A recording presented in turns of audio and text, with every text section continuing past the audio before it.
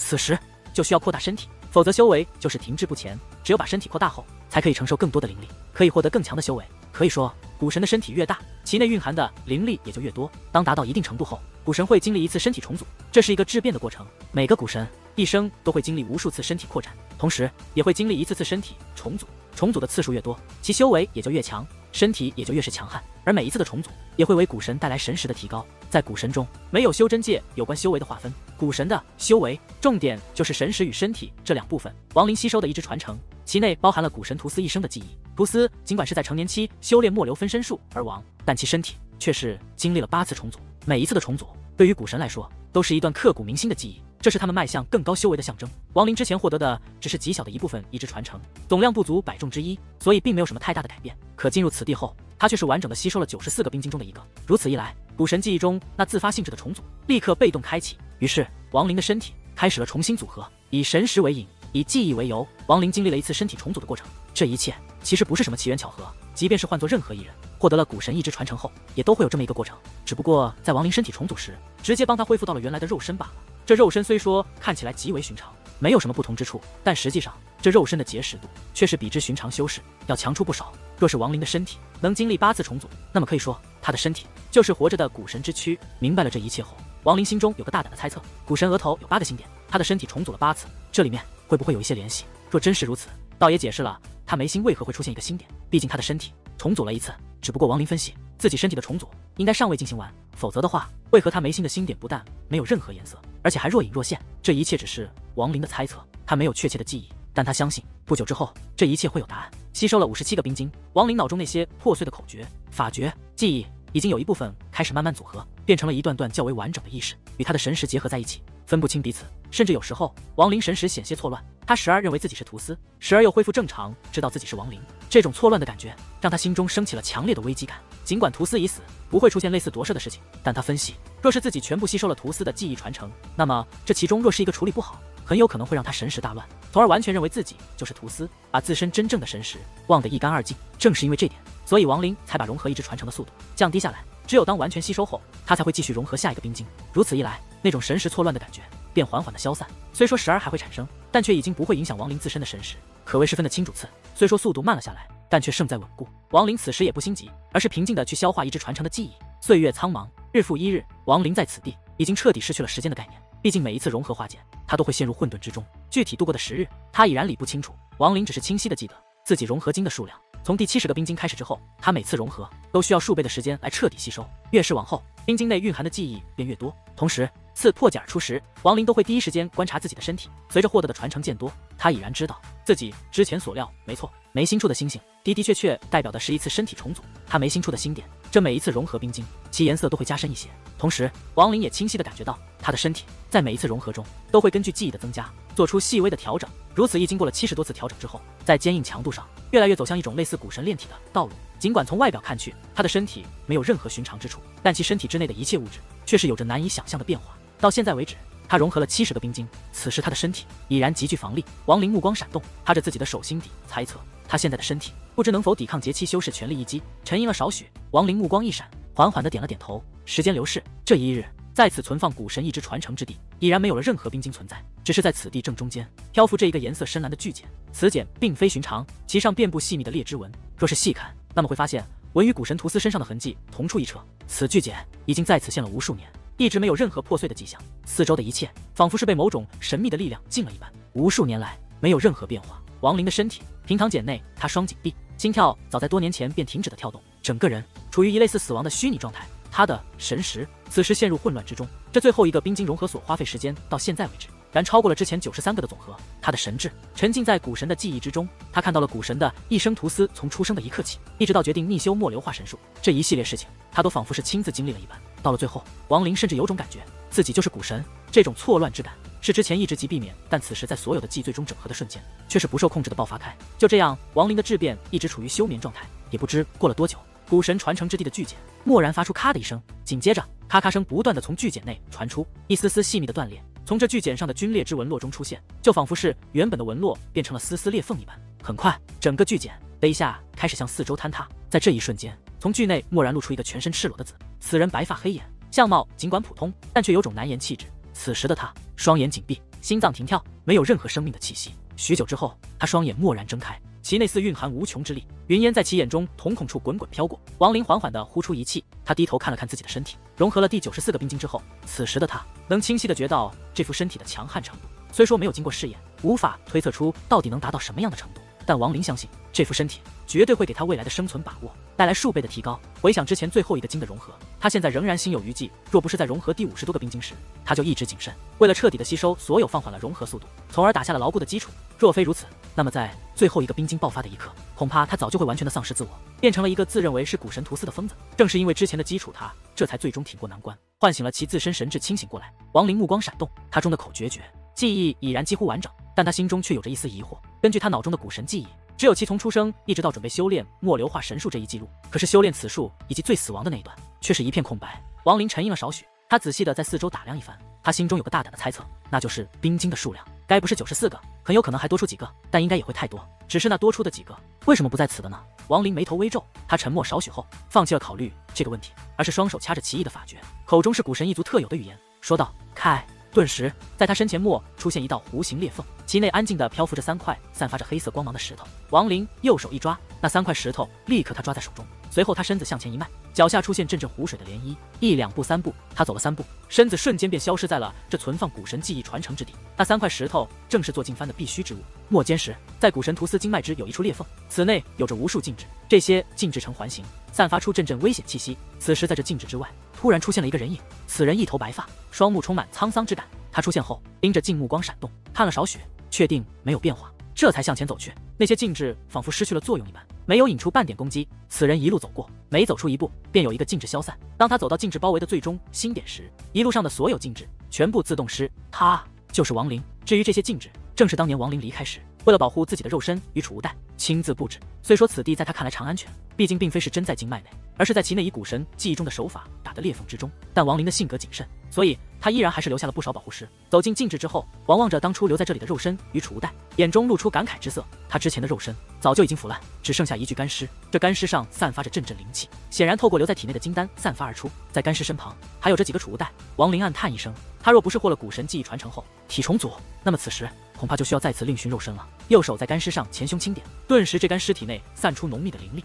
紧接着从他的双脚、双手开出现碎裂，这碎裂向上蔓延，随着蔓延，其内的灵力波动越来越大，最终此干尸的身体全部碎裂。与此同时，一颗拳头大小的金丹从其体内浮起，碎裂的干尸，其上约露出一些色的小点，密密麻麻遍布在碎末之中，时而闪烁一芒。看到这金丹的刹那，王灵顿有种血溶于水的感觉，毕竟这金丹就是他自行凝结而成。与其有着一丝，即便是时间也无法斩断的联系。紧接着，王林右手一抓，那金丹立刻向他手中飞，在碰到手指的瞬息，金丹蓦然消失，钻去王林体内，顺着手臂迅速流转到丹田，这才停了下来。在丹田处缓缓的旋转，一阵阵灵力顿时王林这副肉身内流转起来。他微微闭上双眼，静静的感悟了少许后，睁开眼睛看了面上那仅仅保持着人形，但却已经全部碎裂的干尸。他光一闪，右手掐着法诀，低喝道：“黄泉之炎现。”他话语一落。从那撕碎裂成灰的身体上，那些蓝色的亮点迅速飘起，相互凝结在一起，慢慢的成一团蓝色的火焰。王林张嘴一吸，那烟立刻飞入他口中，融入身体后消失在金丹之内。随后，王林右手一挥，那尸骸上的储物袋一个个顿时飞起，被他一一拿住。紧接着，他手中白光一闪，出现了一套黑色长衫，穿在身上后，王林把储物袋收好，伸手在旁边虚空一抓，那里立刻出现了一道裂缝。他没有任何犹豫，伸走了进去。再次出现时，他又回到了存放记忆传承的地方。王林深吸口气，看了看四周。确定与自己开始一样后，他双手迅速在身前变化法诀，口中以古神之语念出数个杂声色之词。随着他手诀的变化，一层波光片般的景象出现在他身前的虚空。他口中的声色词语，如同一双无形的大手，在这光之中挥动。如此一来，波光的扩展来越大，最终。古神图斯的虚幻之影，蓦然间出现在波光之上。对于古神图斯，王林太过熟悉，尽管面对古神虚影传来的阵阵威压，但他心底却没有任何波动。这虚影出现后，其眉心处的八个色星点突然一紧，接着射出八道星光，落在那波光之处时，形成一个巨大的八角形漩涡。王林盯着图斯虚影，心底默道：古神之地，永别魔内海，碎星乱。这是一片由无数碎石组成的巨大环形之地，此地充满了一股神秘的力量。无论是从外进入，亦或者是从里面冲出，都需要面对数个与自己修为相等的分身，与之战斗胜利后才可通过。此地神秘莫测，再加上这环形的内凶险异常，所以几乎很少有人会来这里。渐渐的，此地几乎渺无人烟。这一日，两道剑光一前一后，从远处迅速飞来，前方剑光略有暗淡，在剑光中可见一妙龄女子。此女抿着双唇，面色苍白无血。他身穿轻纱红底衣裤，腰部纤细，相貌颇有几分姿色。在他身后的那道剑光，其上站着一个中年男子。此人方脸粗眉，眼大如灵。此时他嘴角眯出一丝冷笑，双眼露出寒芒，紧紧地盯着前方女子。他脚下剑光平稳不乱，显然并未全力追击。他盯着那女子，目光越来越冷。这一前一后两道剑光，瞬间便从远处临近。轻纱女子望着前方不远处的碎星乱，心底升起苦涩之意。她已经逃了快一个月，在这一个月内，无论她逃向何处，身后那人都会紧追不舍。若不是他使用出师门秘术遁走，怕是早就被对方追上。可依靠秘术遁走这法术，太过消耗体内灵力，几次之后，他已然无力再次施展。慌乱之下，并未留意方向，居然来到了这碎星乱的范围内。当他反应过来，想要改变方向时，身后那人却是再次追来。无奈之下，他只能继续飞行。于是。二人在追击中，距离那碎石组成的环形越来越近。他心底明白，身后那人显然没有用出全力，而是以一种戏谑的方式给自己带来无穷的压力，逼着自己向前飞行。对方定然算准自己不会进入碎星环中，如此一来，随着距离此环越近，他心底的压力也就会越大。乾坤不疾不徐地追击着，他心中对此女怀中之物志在必得。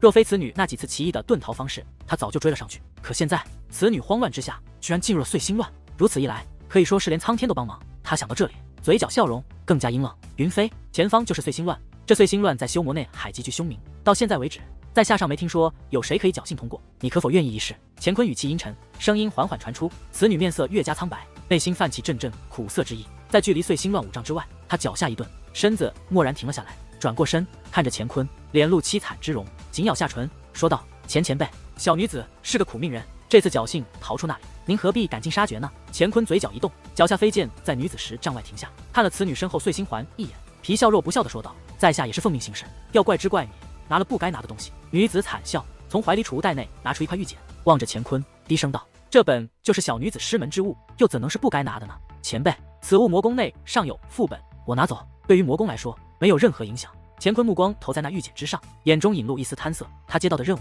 本是杀死此女，并把玉简拿回。此玉简上有魔宫封印，乾坤知道，即便是自己拿到手，也无法查探，只能上缴。而这叫做云飞的女子，此人之前身份暧昧，却是可以查看此玉简之人，否则的话，他也没有机会把这玉简偷出。正是因为这一系列原因，所以他之前才并未下死手，而是步步紧逼。乾坤阴森的说道：“你拿走此物，对于魔宫来说有无影响，在下不知，但在下却知道，此物对我却是影响极大。”女子神情露出果断之色，她一咬银牙，说道：“前辈有话直说，可是要妾身把此玉简内之物拓印一份。”乾坤并未说话，但眼中却是露出一丝喜色。他早就知道，这个云飞是当年修魔海内有名的岐黄门传人。虽说岐黄门最终被一股神秘力量一夜之间摧毁，但此女却是机缘巧合下逃过了一劫。随后，此女拿着记录岐黄门最为珍贵几种丹药配方的玉简，被魔宫之人擒住。此女忍辱负重，成为公主侍妾之一。现在事隔多年，此女终于寻到机会，拿着玉简逃了出来。乾坤现在已经是结丹中期，距离后期虽说只差一线之隔，但他资质有限，功法也并未绝佳。如此一来，怕是此生都无法进入后期。可若是能获得这玉简，按照其内的配方炼制丹药，那么他进入结丹后期将会变成可能。女子暗叹一声，二话不收，再次拿出一块空白玉简，拓印之后，她盯着乾坤说道：“前辈，我已经拓印完，你若是放我离开，那这玉简就是你的。”乾坤哈哈一笑，说道：“好，你把玉简拿来，在下看过，确定无误后，自会放你离开。”说着，他身子就要向前迈去。站住！女子立刻厉声娇喝，她右手捏着玉简。只需灵力倾吐，就可把这仿制的玉简捏碎。同时，他身子后退两丈，盯着乾坤，口中说道：“前辈已然是结丹中期，小女子修为只不过刚刚迈入结丹，与前辈相差一个境界，所以不得不防前辈拿到玉简后反悔。”乾坤眉头微皱，他目光闪现寒芒，盯着此女手中玉简，停下脚步，缓缓说道：“你是何意？”云飞深吸口气，谈口微张，说道：“还请前辈退出千丈之外，我定会把这玉简放在此地。待我离开后，前辈可来取玉简，否则的话。”我立刻把这复制的玉简捏碎，然后自杀。到那时，前辈可就一无所获了。乾坤嘴角露出冷笑，说道：“笑话，我又怎知你那玉简是真是假？若是你糊弄于我，那又该如何？”此时，二人都没有发现，在那碎星环内，天空中出现了一道三丈多长的空间裂缝，阵阵黑芒从其内散出。云飞秀眉紧锁，正要说话，此时乾坤面色一沉，继续说道：“在下可没时间与你纠缠，交出玉简，我放你生路；否则不留情面。这玉简，钱某大不了不要，就是。”说着，他身子向着前方缓缓飘去，十丈的距离，原本一闪便可过去，但乾坤却是步伐缓慢，他生怕动作太快会让对方下意识的捏碎玉简，如此一来，他可就真的一无所获了。云飞银牙再咬，他将手中玉简蓦然向一旁扔出，随身身子立刻移动，反方向疾驰而走。乾坤身子顿时一折，其身影如若奔雷，迅速冲了出去，追上玉简，抓在手中神识一探，随后面色立刻大喜。狂笑几声后，他盯着正在疾驰、尚未逃远的云飞，眼中露出一丝淫邪之芒，身子立刻一冲而出，追了上去。这一次，他的速度与之前追击明显不同，几乎快了数倍。云飞虽是疾驰，但神识却一直暗中留意乾坤的举动。在看到对方追击玉简时，露出这一路上从未有过的速度后，他就感觉不妙，连忙咬牙迅速飞行。但很快他便绝望起来。那乾坤拿到玉简后，并没有遵守承诺，而是向他追来。乾坤，即便我死了，你若是按照那玉简炼丹，也定会落得凄惨下场。这一切都是你自找的。云飞内心冷笑，但很快他便是一叹，索性停了下来，闭上了双眼，准备自断心脉。乾坤看到云飞不但不跑，反而放弃抵抗，哈哈哈一笑，身子迅速向前飞去，口中吟声道：“看在你识趣的份上，一会钱某让你在舒服中死去，让我好好看看，这让主人为之销魂的身体到底有什么不凡之处。若是你把我伺候好了，说不准真把你放了。”乾坤刚刚说到这里，突然眼睛猛地瞪出，直勾勾地盯着碎星乱内，眼中露出不可思议之色，但很快便立刻转化为极端的恐怖。云飞听到乾坤的话上没说完，便戛然而止，他正要自断心脉的举动立刻一缓。睁开妙目，一眼便看到了碎星乱内的异象，小嘴立刻无意识的张开，露出一脸的震惊。只见在碎星环内，不知何时出现了一道空间裂缝，这缝隙此时正在以极快的速度迅速扩展，眨眼间便几乎达到了五十多丈。此缝隙成弧形，仿佛是一个挂在半空的野兽之口一般，让人看起来不由得心底生出阵阵寒意。要知道，在修魔海内，由于内外海之间的若隐若现的红雾与裂缝阻隔，空间裂缝代表的含义极大，几乎谈之色变。可即便是内外海之间，也只是一些细小的裂缝而已。可现在展现在乾坤与云飞二人眼前的，却是如此巨大的一道裂缝。此裂缝的出现，立刻让乾坤感觉头皮发麻。他几乎立刻就想放弃追杀云飞，迅速离开这里。这个念头刚一出现，便他被立刻压下。他目光闪动，盯着碎石环，心底略安，暗道有着碎星环阻隔，即便是那裂缝内有什么危险之物，也不可能冲出来。实在没必要如丧家犬般落荒而逃。就在这时，那裂缝突然停止蔓延，其内闪烁阵阵黑色一芒，一丝丝古怪的气息从其内慢慢散出。紧接着，一个身穿黑衣的青年。从其内一脸平静地走了出来，此人一头白发，无风自动，在脑后飘散，充满了一股脱尘之气，但其双眼却隐露无情之色。若是仔细看，可以从其内看到一丝辉光。最显然的，还是此人额头眉心处一个深紫色的星点，这星点散出阵阵紫芒，看起来充满了妖异之感，配合他身后那巨大的空间裂缝中散出的阵阵乌黑之芒，此时他整个人看起来就仿佛是那从地狱里走出的神魔一般。此人走出裂缝后，头也不回，右手随意在身后一挥，顿时那巨大的裂缝。迅速收拢，几乎是眨眼间便由大变小，最终彻底的消失无影，只留下那飘在半空中宛若神魔一般的青年。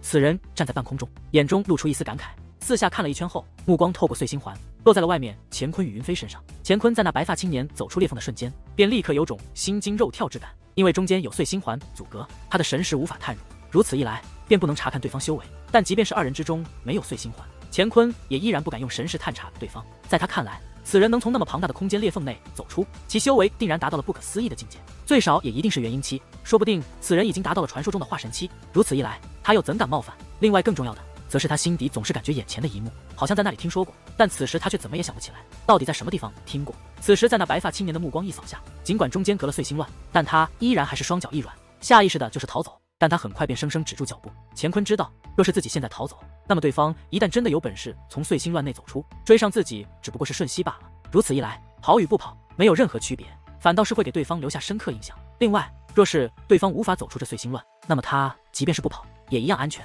心底这么想着，乾坤的脚步停了下来，他连忙抱拳，恭敬地说道。晚辈毒王魔宫坐下五代弟子乾坤参见前辈。云飞此时心中百转千绪，他刚刚经历了生死，此刻又看见了令人震撼的一幕。他的判断与乾坤差不多，只不过他想的是，若是自己逃走，那么结果只是被乾坤追上，死路一条。可若是不走，在此地说不定还有一线生机。想到这里，他连忙恭敬地说道：“晚辈七荒门遗徒莫云参见前辈。”那白发青年冷漠地扫了二人一眼后，便收回目光，看向碎星环，沉吟了少许后。此人右手在腰上杵带一拍，顿时一只巴掌大小的小兽在其手中出现。此兽背后长着三对翅膀，双眼清明，看起来颇为通灵。它出现后立刻飞起，翅膀拍打声中，迅速向着碎星环内飞去。很快，它便进入其内。紧接着，碎星环的那一块碎石蓦然间闪烁白光，待白光消失后，出现了一只一模一样的小兽。二兽一见面，彼此顿时发出尖锐的声波，相互攻击起来。白发青年皱着眉头看了少许，右手一照，顿时那小兽立刻身体一抖。整个身子化作一道细小的漩涡飓风，从碎星乱内飞了出来，趴在此人肩膀，并在其右手一摸下，消失无影。这白发青年正是亡灵，他从古神图私存放一只传承之地，以记忆中的方法打开了离去的通道。从通道内走出后，便是在这碎星乱内环之中。想要出去，就必须要通过此环。当年通过端木吉等人的交谈，亡灵已然对这碎星乱有了一丝了解。其实他本打算以当初进入此地的方法离开，可那传送阵太过复杂，古神图斯的记忆中偏偏在传送阵这点上几乎没有任何了解。其实想想便可明白，与古神的强大，实在没有必要以传送阵来移动。他们随手撕出黑洞，就可顺着其内穿梭而过。当然，也不排除古神记忆中其实本应有传送阵方面的知识，不然的话，为何在古神之地的第四关会有那神奇的阵法存在？若真是如此，那么也证实了王林之前的猜测。他所吸收的古神记忆，恐怕还并不是绝对的完整。只不过这些都是王林的猜测，至于事实是否这样，没有任何人知道。王林沉吟片刻，眼中露出一丝果断。他二话不说，身子以迅雷不及掩耳之势，蓦然移动，冲入了碎星环内。待他进入其内的瞬间，乾坤尽管神色恭敬，但内心却是紧张起来。这不是他第一次看见有人敢闯入此地。实际上，在多年前，他曾看到过魔宫一位元婴期强者闯入这碎星环内，结果落得身亡的下场，甚至连元婴都没有逃脱。被碎星环内的神秘力量吞噬。此时，他再次看到有人闯碎星环，双眼立刻凝神看去。云飞的紧张程度比之乾坤更重。他现在把自己可以免于被杀的希望，全部寄托在了那白发青年身上。在他想来，若是对方可以冲出，那么乾坤必然不会轻举妄动。到时候，他若是以御姐奉送获得保命的机会，可能性虽说不知有多少，但无论如何。这都是一个转折。云飞决定一试，王林身子一进入那碎星乱，顿时其内几个石块立刻相互碰在一起，在一阵白光中，一个与他一模一样的分身出现在这碎星环内。这分身出现后，立刻嘴角露出一丝冷笑，右手一拍储物袋，一把黑色的飞剑立刻一闪而出。这飞剑造型古怪，其上充满一些分刺，分明就是王林以毒王鼎炼制的剧毒之剑。王林扫了那飞剑一眼，心底对这碎星环的神秘力量颇为佩服。他居然连法宝。都可以复制而出，甚至那飞剑上被魔化后的孟驼子击中出现的那一丝裂缝，也毫无遗漏的显现出来。这一次，王林没打算与之战斗，他的想法是以试探为主。分身祭出飞剑后，只听一声呼啸，那黑色飞剑瞬间破空而来。王林嘴角微动，他一拍储物袋，同样祭出黑色毒剑，顿时两把一模一样的毒剑立刻交错在一起，相互进攻。紧接着，王林内心冷笑，他极尽神识，蓦然移动，化作一道红色闪电，在其双眼内一闪而过。与此同时，分身也是双眼闪烁红色电光。此时，王林双目紧盯分身，神态凝重。只见那分身眼中的红色电光刚刚闪烁了几下，其双眼便立刻砰的一声爆裂开，化作几个碎石散落在一旁。与此同时，那分身整个身子似乎也承受不住红色电光的威力，蓦然间自爆开。王林目光一闪，立刻沉吟起来。他刚才极尽神识虽动，但却并没有攻击，而是试探一下这由碎石组成的分身是否连极尽神识都可复制。现在他可以判断。这碎星环虽然神秘，但显然无法复制极尽神识。王林嘴角露出一丝冷笑，身子蓦然向前迈出，走进这碎星环内部。按照之前王林从端木集那里听到的话语，这碎星环内总共百里，若是打败了第一个分身，那么可走出五十里。五十里外会出现两个分身，再次打败后，便可再次安然走出五十里。如此一来，便顺利通过。乾坤的心在那分身死亡的瞬间，险些崩溃掉。他心目中王林的地位瞬间飙升，达到一个从未有过的高度。他如何也没想到，那碎星环神秘力量凝结的分身，居然刚一出现。就诡异的自己爆开，他无法想象这里面到底有什么惊人的玄机。云飞双眼露出一丝强烈的神采，妙目看向碎星环中的亡灵，心底暗自计算以何种方式请求对方才不会被拒绝。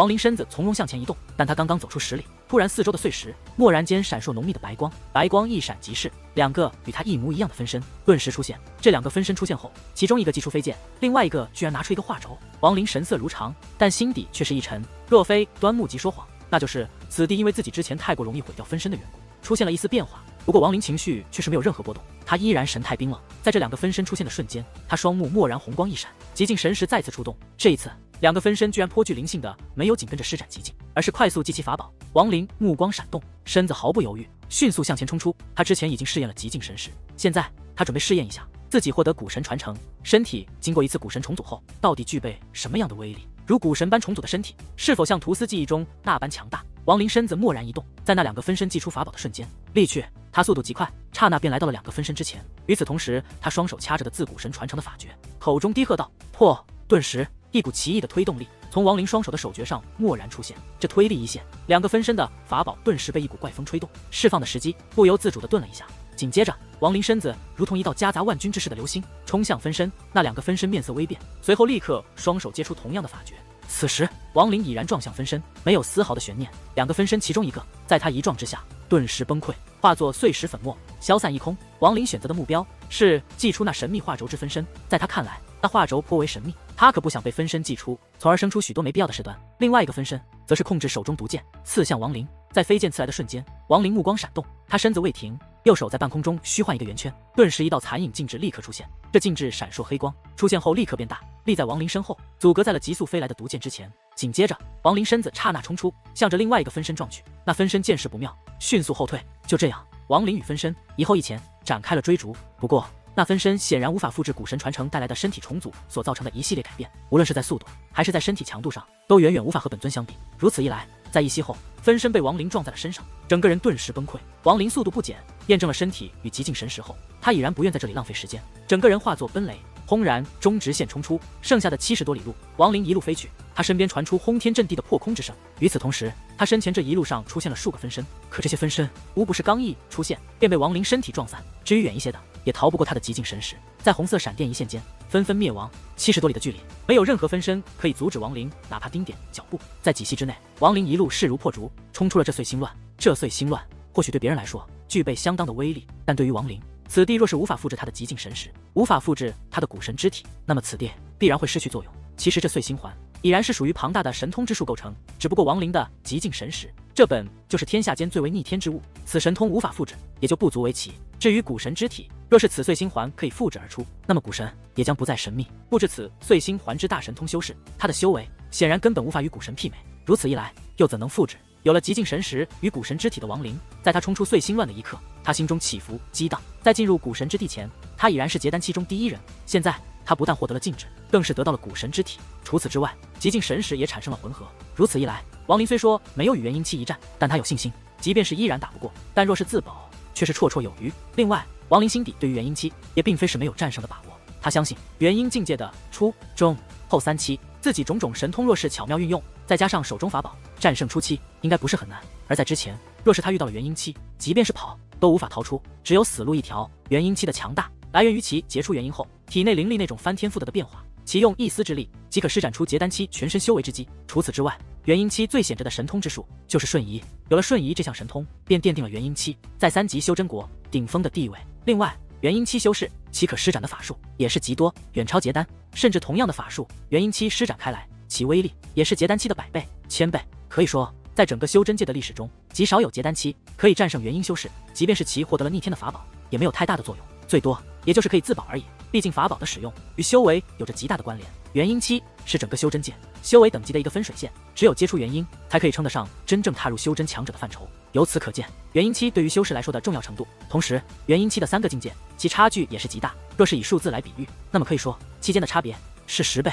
也就是说，元婴后期相当于十个元婴中期，相当于百个元婴初期。这算法虽说过于简单，但却是真实。只不过这里面没有计算到法宝而已。王林心底只是猜测，他实际上并不确定自己现在到底能否与元婴期一战。毕竟无论怎么说，他的修为仅仅是结丹后期罢了。但是他对极境神识在古神之地增强，自己获得了古神般重组一次的身体，再加上储物袋内的众多法宝，这一切让王林在不确定中又存有一丝踌躇。走出碎星环后，王林目光闪烁。他已然决定不去做那疯子才会选择事情，那就是找个元婴修士测试自身的增长程度。在王林看来，这举动无疑极为愚蠢。王林目光一扫，在乾坤与云飞二人身上看了一眼。对于两个结丹期修士，即便是在进入古神之地前，王林都不曾放在眼里，更何况现在，他没兴趣管二人之间的事情。只不过他有一些问题需要找人解答一些。于是他语气平淡，缓缓地开口说道：“距离此地最近的城池在哪？”在王林走出的瞬间。乾坤脸上露出极其恭敬之色，内心却是紧张万分。此时听见王林问话，正要回答时，却不想云飞早他一步，已然说话了：“前辈，此地万里之内没有任何城池，但是自西去三万多里有一座麒麟城。”云飞说着，右手极其自然地把额前几丝秀发挽在耳后，这一颇为柔弱的动作，立刻把其女性的魅力展现出来。可惜这番做作没有吸引王林半分注意。看到王林目光并未在自己身上停留，云飞心底不由略有失望，但很快他便心底不甘。莫云知道自己的相貌不算绝佳，但其却是擅长床底之术，不然也不会让魔宫之主那般着迷。此时他暗自咬牙，亲眼看到了王林从容地走出碎星环后，他对于此人修为的猜测便从来没有停止过。暗道若是能有对方庇护，那么即便是魔宫主人寻来，也定然会铩羽而回。甚至若是此人肯帮他，那么灭掉魔宫，在他想来也不是多么困难之事。只不过这一切仅仅是他的幻想罢了。此女心中所想。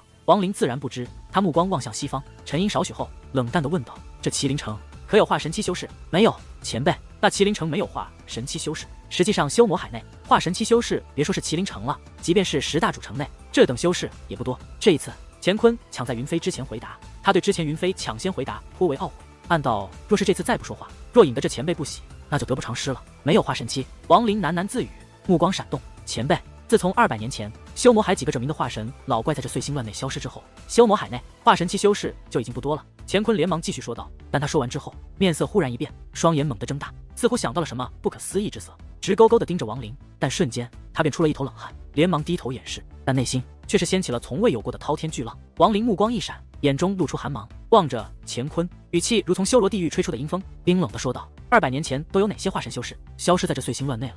云飞眼露金色，他也想起了二百年前的那个传说，此时抿着红唇，在一旁说道：“前辈，晚辈对此事略有所知。二百年前，毒魔宫公主孟庆凡、七梅之地城主端木吉、玄天宗宗主六域魔君，还有天魔洞的化神老怪古帝，他四人相约来到这碎星乱，同时失踪。其门下传人，在这二百年来无数次寻访，始终都没有查到半点线索。”王林神色如常，但内心却是一怔。二百年，没想到自己进入这古神之地，居然已经有了二百年。王林收起感慨之心，目光投在了乾坤身上。此人之前的表现有些古怪，而且此人之前自曝身份是那毒魔宫的弟子，其老祖宗显然就是那孟驼子。被王林目光一望，乾坤顿时身子一颤，脚下一软，扑通一声跪在地上，诚惶诚恐的说道：“前辈，晚辈什么都不知道，也不会乱说，前辈饶命。”王林目光冰冷，扫了乾坤一眼，语气阴沉的说道：“孟驼子是你师祖？”乾坤身子顿时一颤，若说刚才他心中还有一丝怀疑，那么现在这丝怀疑顿时烟消云散。要知道，毒魔公主孟庆凡在修魔海极负凶名，寻常修士无论人前人后，凡是提到孟庆凡，无不尊称其为孟前辈。即便是几个与之同辈之人，也要称一句孟公主。之所以如此，除了其一身修魔海内几乎达到顶端的化神期修为外，最重要的是此人的一身毒功。其毒功可谓是防不胜防，无色无味，往往对方中的剧毒，临死前都想不明白自己到底如何中毒。再加上孟庆凡此人性情怪选，一语不合便会灭其全门。曾经修魔海内有个大型门派，其内虽说没有化神期修士，但却有数位元婴后期的修士。此门派的实力在修魔海内也算是一方霸主。可正是因为此门派某个元婴期修士弟子无意中见到孟驼子，没有认出其身份，倒也罢了，居然恶语嘲笑。当天夜里，孟庆凡便单人走进此门派。一个时辰后，他离开时，整个门派上下三千四百五十六人，其中包括此门派内的一切杂役、外门弟子、内门弟子，甚至那数位元婴后期修士等等所有人，无一活口。孟庆凡杀人，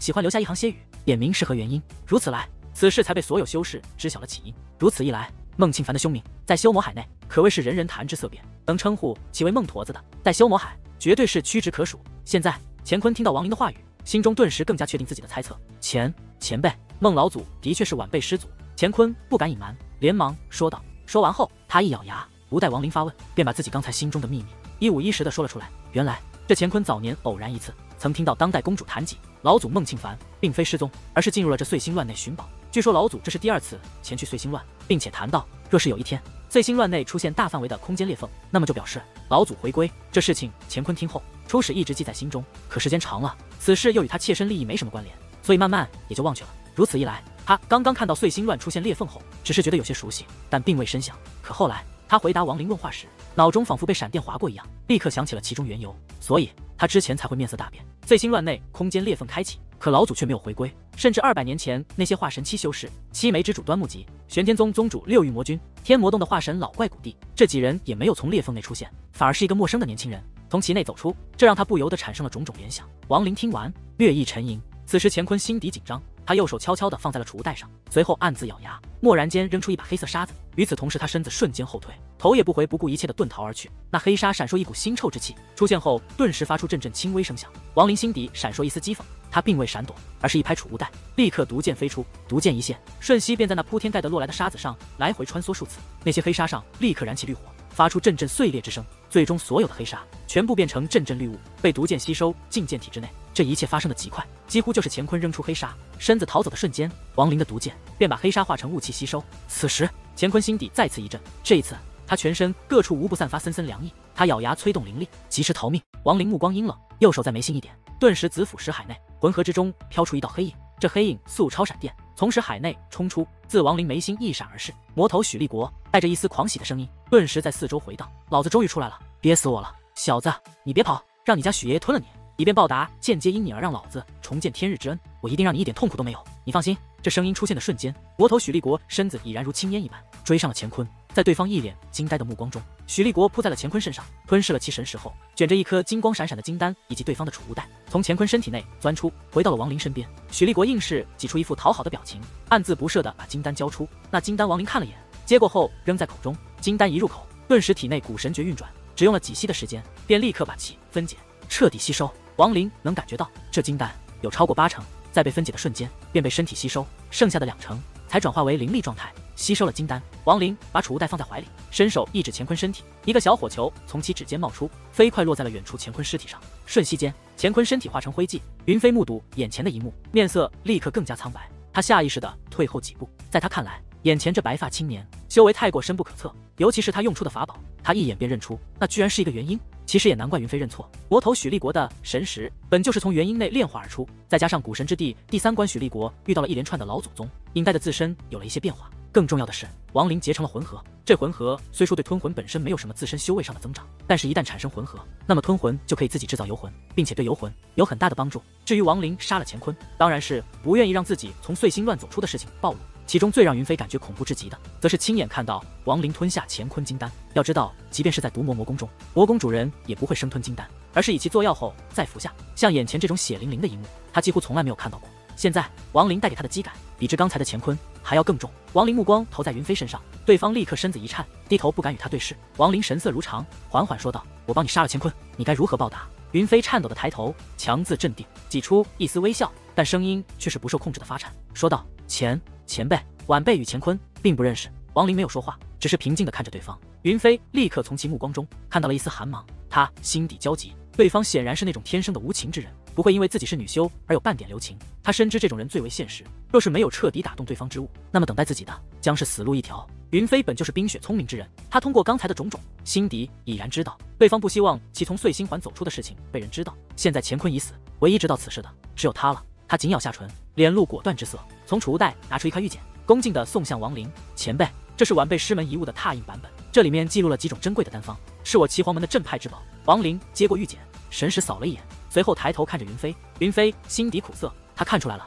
仅仅一个玉简，显然不能打动对方。他脑中思路迅速转动，最后灵光一现，连忙说道：“前辈，晚辈自幼在麒麟城长大，并在麒麟城有一座等级房屋，而且晚辈对麒麟城内非常熟悉。若是前辈有什么需要，晚辈都可以代劳。”说完之后，他有些担心王林不知道麒麟城的规矩，于又继续说道：“前辈，您知道麒麟城若没有本城身份，那么外来修士最多只能在城内居住三天，一天都需要花费十块下品灵石，便如此，也最多只能多居住十天而已。但晚辈不同，我有麒麟城居住身份，由晚辈带路，前辈可没有间限制居住。另外，晚辈对这修魔内海非常熟悉，包括城池的位置，其内修士实力的强弱。这些年，晚辈在魔宫专门处理这些事情，可以说整个修魔海。”很少有晚辈不知道知的。若非这被乾坤追击的过慌乱，晚辈说什么也不会错误的来到这碎星乱内。一口气说完后，飞紧张的看着王林。王林心底沉吟片刻，他右手随意一抓，云飞的身子不由自主的向他飘去。与此同时，他右手手腕一转，食指中指并拢，迅一挥，顿时一道禁制残影出现，打在了云飞眉心之处。此禁制每三天发作一次，每次做全身鲜血逆流，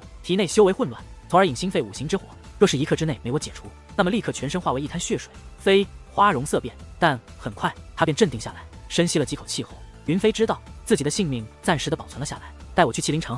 王林神色寻常，声音没有任何波动。云飞连忙点头，驾剑光，小心的在王林身旁带路。王林飞行没有使用飞剑，而是仿佛一股清风托体一般向前飘去。这种独特的飞行方式，其实就是他早年最为精湛的引力术。现在这么多年过去，这引力术在他的使用下，已然无限的接近一种出神入化的境界。就比如说现在。他即便是使用飞剑，其速度也一样不会快上多少，反而会有灵力的消耗。而这引力术，由于是最基本的法术之一，对于灵力的消耗，对于一个结丹后期的修士来说，几乎是微乎其微，甚至若不仔细去看，丝毫察觉不到灵力的损耗。可以说，在一息之内所消耗的灵力，只不过是在同样时间内，金丹转动一圈产生的灵力万分之一而已。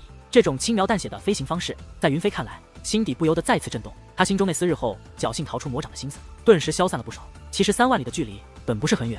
可在飞出一天后，王林还是没有发现这麒麟城，于是面色立刻一沉。云飞也是暗自叫苦，他之前说这麒麟城距离时，忘记了在碎星乱外还有一圈不定时出现的深蓝极光群。这极光出现的频率不高，但每次出现都会范围极广。一旦进入，虽说不会有什么危险，但在极光中，神识无法离开身体，很容易迷失方向。在极光圈外，云飞忐忑不安地把这事情解释一番，他生怕惹怒对方，可以说是心惊胆战地把话说完。最后他建议从一旁绕过，这样一来，时间可能会慢一些。但绝不超过五天。王林听到后，神识蓦然探出，在四周横扫一圈后，神识化作一条直线，立刻延伸而出。很快，他便看到了那极光圈，查看一番，果然如云飞所说，于是点了点头，算是同意对方的建议。云飞松了口大气，连忙在前带路。王林不是个善谈之人，云飞则是心中畏惧居多，也不敢贸然说话。于是，一连三天，在这一路之上，二人几乎没有过任何交谈。在第三天的正午，云飞体内的禁制发作了，他验证了王林之前所说，体会到了鲜血逆流、灵力混乱欲脱体而出的痛楚。他甚至感觉到自己的身体内仿佛有一团火，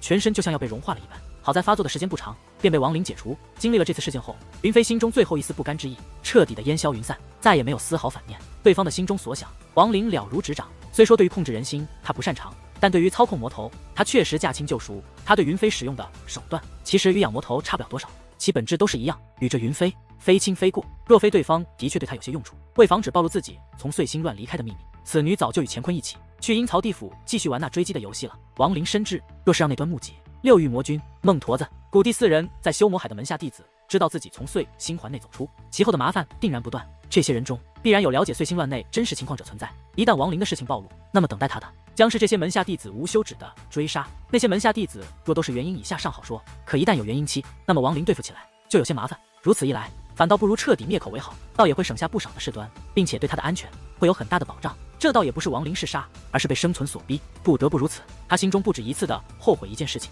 准确的说，此事已经过去多年。当年在赵国时，他刚刚从恒岳派离开，遇到了昔日伙伴张虎后，杀了张虎之师，救下张虎。这一切被四周的那些凡人看得清清楚楚。张虎当初的决定是杀了那些凡人，可王林淳朴的性格让他不忍乱杀无辜，而是施展了某种可以让别人丧失记忆的法术。他多年后每次想及此事，内心都如万重吞噬般刺痛。他不止一次的嘲讽自己的无知，不止一次暗恨自己当年的淳朴。他并不知道张虎之师身上有即墨老人的咒术，可以遥感其身亡前的一切景象。在他想来，事情一定是出自那些凡人身上。自己一时的心软，换来的是张虎之师即墨老人的报复，从而引发藤化元玄孙的追杀。若非如此，王林又怎能惹下滔天大祸？在筑基期时就得罪了一个元婴强者，并且被其诛杀全族，父母也落得身亡的下场，只剩下两团灵魂之火，而他自己也死了一次。这一切。都是一时心软惹下的大祸。从身亡的那一刻起，王林性格中淳朴的一面便随之死亡。若是时间能倒流，那么当日张虎的决定，他必然不会阻拦。没有人天生就会心狠手辣，没有人天生就会谨慎狡诈，更没有人天生就会冷酷无情。这一切都是现实中种种事态推动后，冥冥之中造成的。若是可以选择，很少有人会以这种代价换来一个心狠手辣、胆大包天、做事果断、冷酷无情、偏又胆色过人、心思慎密、意志坚定、狡猾如狐的评价。此时的王林。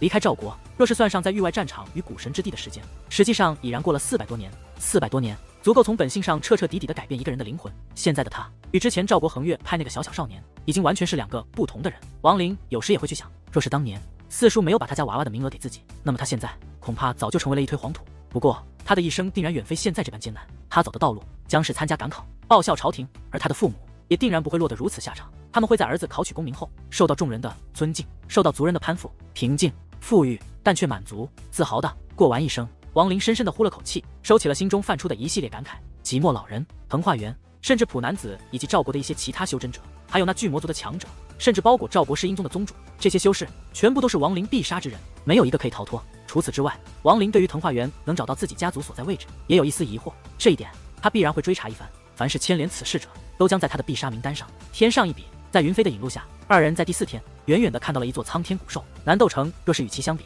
那么就如同是一个刚刚学会走路的孩童，与巨人的差距一般。这麒麟城几乎相当于数百个南城大小，远远望去，就仿佛是一只趴伏在地的上古荒兽，散出阵阵古朴威严之气。实际上，整个麒麟城的样子，就是一只由暗黑色的山石组建而成的巨大奇兽。这麒麟兽双眼蕴含洞，看去仿佛具有生命一般。凡是第一次来到这麒麟城者，无不赞叹。这麒麟兽趴伏在地，巨大无比，在其身上。有着密密麻麻的鳞片，每一处鳞片实际上就是一个洞府。在这麒麟兽内部是此城的方式，其内有着几乎整个修魔海绝大部分材料、功法、法宝、兽。在这麒麟古兽外围有着一圈山脉，这山脉呈圆形，把麒麟城保护在内。山脉的东西南北四个分别被人以大神通打开一个巨大的断口，成为进出城门。这麒麟城最早起源已然无人知晓，传闻中。在修魔海海水没有化成雾气之前，此城便已然存在。云飞看到林的目光投在了远处的麒麟城上，忙在一旁介绍。王林只是在此城一扫，目光便盯着山脉城门内那巨大的麒麟，目不转睛。他的右手在储物袋上一拍，顿时出现了一枚玉简。此玉简正是当年李婉玲别之时赠送，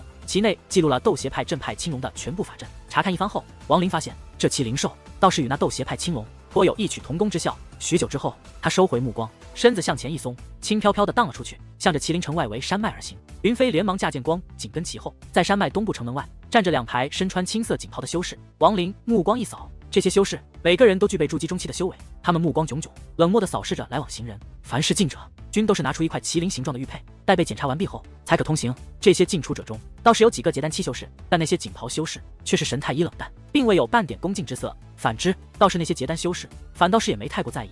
这奇怪的一幕，立刻引起了王林的兴趣。这些修士都是麒麟城城主府的门下护卫。麒麟城内除了城主府外，没有任何大型门派存在。在这里，城主府管理此城的一切，任何此城之外的门派，只要想进这麒麟城，就必须按照其定的一系列制度行事。云飞连忙在一旁低声说道。王林点了点头，他心中略一分析，便想到了此事的缘由，想必是这城主府实力太过强大。所谓狗仗人势，狐假虎威。如此一来，即便是看门的筑基期护卫，其身上也披了一层虎皮。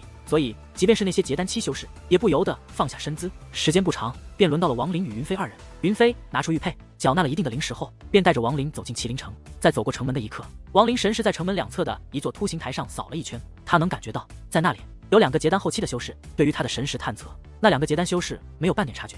王林神色平静，随着云飞走过城门，慢慢的来到了那巨大的麒麟兽下。近处看，这麒麟家雄伟，如一座大山矗立在面前一般，让人不由自主的升起一丝渺小之感。这就是麒麟城了，修魔海内十大主城之一。妾身第一次近距离看着麒麟兽时，颇为震撼。据传闻，在修魔海并未化物之前，的确有这种庞大的麒麟存在，实在无法想象这世间居然有这神兽。云飞颇为感慨的在一旁说道：“只不过这种感觉对于王林来说却是欠缺。与古神图斯相比，此城实在是算不得什么。拥有古神记忆传承的王林，看着麒麟兽，仅仅就是绝上可罢了。甚至不说图斯，单单是古神之地道内那万丈身子的蛟龙，与这麒麟兽相比，就已经不多让了。”看了一眼后，王林便收回目光，平淡的说道：“带我去你的居所。”飞连忙点头，驾着剑光从的立刻飞起，在那麒麟兽背部的一处鳞片上停了下来。仅仅是一个鳞片，便有大约十几丈大小。站在那鳞片之上，飞拿出玉佩，在其上打出一道灵光，顿时一缕青芒从玉佩内闪现。此同时，此鳞片立刻化作阵阵水波荡漾，慢慢的透明起来。云飞回头看了王林一眼，身子沉了下去。王林目光闪动，蹲下身子在地面一摸，一阵清凉之感顿时从手中传来。他沉吟少许。身子蓦然一动，沉了下去。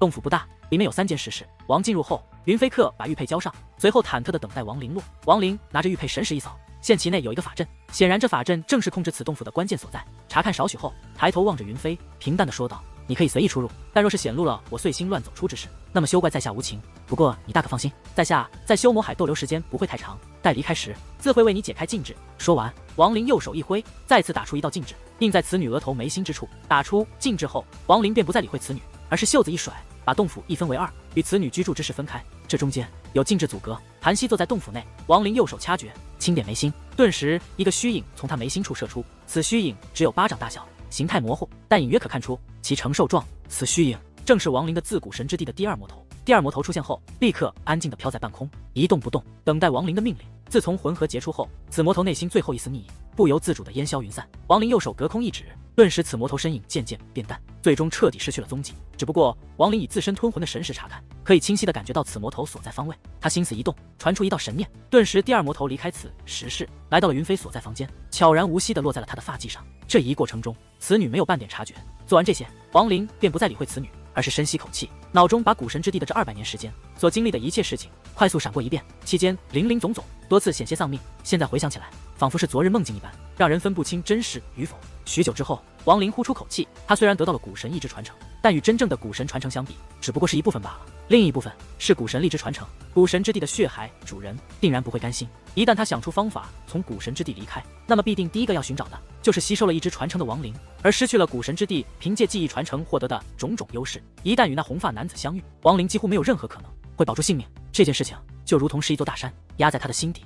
只不过王林分析，那红发男子若是想要离开古神之地，也不是什么轻而易举的事情。如此一来，他短时间倒也不会有来自这血海主人的危险。尽管如此，但一些必要的准备还是要尽早实施。王林已然打定主意，等在麒麟城整顿一番后，便让云飞带他寻找这修魔海内的一些古传送阵。他口袋里极品灵石，算上之前所得，有二十多块，足够他开启传送阵去任何的方。只是在这之前，他还需要仔细的研究古传送阵。若是对此阵不了解，那么即便是找到阵，他也不管贸然开启。这其实也是他来这麒麟城的原因之一。除此之外，他的修为已然达到了结丹后期，只是结音就仿佛是一道难以横渡的沟壑，任他如此努力，都始终差上一些。王林不知别人结婴是否这样困难，但对他来说，这结婴却是比想象中还要困难数倍。无论是蛟龙髓液，还是那些可增加结婴几率的丹药，他都已全部服食，可却始终无法结婴，甚至连一丝迹象都没有出现过。王林也曾分析，是否这一切其原因与自身的极境有些关联，但以他当年极境进入神识的一刻，脑中获得的一丝极境的明悟，只是知道这种奇异的状态下，原因后期是终结点，再就是同等阶层极境修士占据天威。事实上，关于极境的了解，他并没一个系统的概论。这一次来麒麟城寻找有关极静苗的典籍，也是的任务之一。王林目光闪动，他沉默了片刻后，右手从怀中拿出几个储物袋，这些除了那的自战神殿神道之术、洞穴之物外，都是他在古神之的的所获。首先是古帝的储物袋，王林神识一探，顿时一股柔和之力从内推出，阻止他神识进入。王林目光一凝，他沉吟少许，古帝显然并未死亡，他内心冷笑，把这物袋与的自战神殿的那个放在一起。随后目光落在剩余的几个储物袋上，其中最让他怦然心的是那存放朵木等十人本命法器之袋。他右手一挥，那储物袋内之物顿时一一飞出，十件法器飘在他身前。其中除了一个月牙形的黑色弯刀仍然闪烁阵阵荧光之外，其余九件全部都暗淡无光。亡灵神识顿时一动，包裹住那九件法宝。但立刻他面色一沉，这九件法宝尽管其主人已死，本命之光暗淡，但其上却是隐含另一股神识，阻止亡灵据为己有。他目光闪烁，略一吟，蓦然间想到当初夺目十人中的那个老者，在把这些法器交给他时，曾在上面分别按下烙印。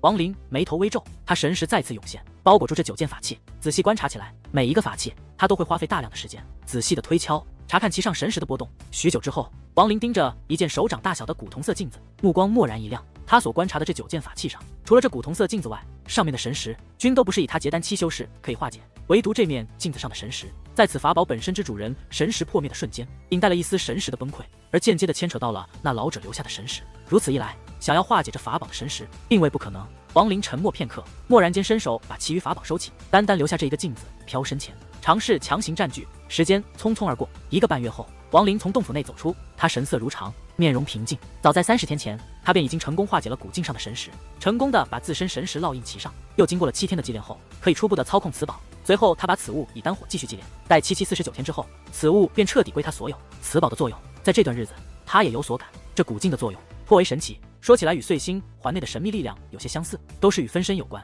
在他想来，此物当年定是大有名气，否则的话，也不会被那上古修士用来当成本命法宝。只不过以亡灵的阅历，他无法知晓此物名称。即便是古神图斯的记忆中，也很少有关于法宝的认知。毕竟古神之地中，这就已经是最好的法宝了。古神轻易不会炼器，但炼成的器。其炼制之物定然威力无穷。王林一直到现在，脑中还时常会想，图斯扔掉的那个方鼎，承传了记忆之后，在王林脑中有数十种庞大的法宝制作手法。只不过这些法宝无一不是需要耗费难以想象的材料，即便是把整个朱雀星的资源材料凝聚在一起，也无法制作出其中一件。现在的他已然知道那方鼎的名称，那鼎叫做玄星鼎，其作用是封印。按照记忆中的记录，此鼎若是制成，可封印世间万物，即便是整个星球都可以被其封印。此鼎的制作材料是王林记忆中最少的，只是这最少。是相对而言，在王林看来，只不过五十步与百步的区别罢了。这段日子，除了此古铜镜子之外，王林余下的时间以墨尖石为主要材料，开始制作镜幡。只是在材料上还缺少一些寻常之物。这一日，王林走出洞府的目的，就是去此城方士转转，购买所缺材料。在他化解古镜的十日内，云飞体内禁制发作了数次，每次都是他隔空以第二魔头为其化解。时间长了，云飞已然认命，对这禁制甚至有些麻木。事实上，云飞在这段日子。曾离开洞府数次，每次都是在麒麟城内寻访高人为其化解禁，但每次全都是失望而归。他所寻找的修士，没有任何人可以成功化解此禁制。所有见此禁制之人，无不皱眉不已。他们看来，这禁制的手法完全不似目前的修真界所拥有。这禁制更加偏向于上古禁术。倒也有人对此提出疑问，但禁术这种东西，本就是修真界的偏门法术，一般情况下，极少有人会花费大量心血研究。如此一来，即便有人觉此女身中此禁制古怪，但也没有深入追寻。另外，云飞找人破解之时极为小心，他生怕禁制没被破解，自己来落的露出亡灵身份，被对方杀死的下场。云飞根本就不知道，他所经历的这一切都被亡灵以他头顶发髻上的第二魔头看得清清楚。对于此的这些小动作，王林心底冷笑，暗道找死。